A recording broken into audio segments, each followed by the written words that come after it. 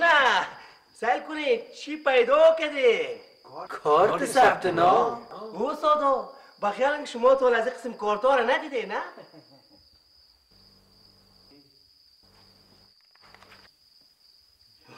چی عکس مقبوله برای من گرفتن. وای وای. می‌فهمین؟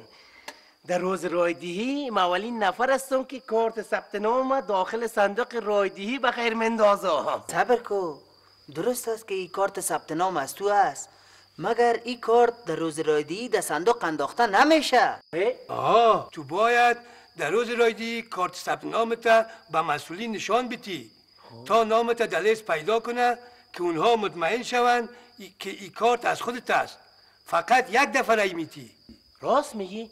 مقصدی که کارت ثبت نام داخل صندوق انداخته نمی‌تونم دیگه ای بیادر نمندازی این مثل یک کارت هویت است که مسئولین انتخابات بفهمند که تو واقعا واجد شرایط انتخابات رایدی است یا نه.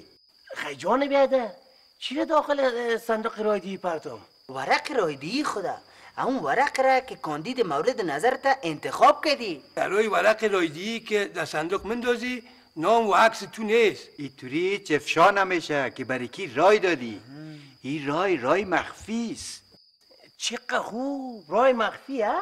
خیلی من این کارت من که عکسم نگاه می‌کنم. چی عکس از ما گرفتن؟ من می‌خوایم که عکس ما برای بوبویم بتم توفه. بیادر هر کاری می‌کنی بکو. اما این کارت در روز رای دادن درست نگاه می‌کنی. والا یک فکر کرده کلمه گشت.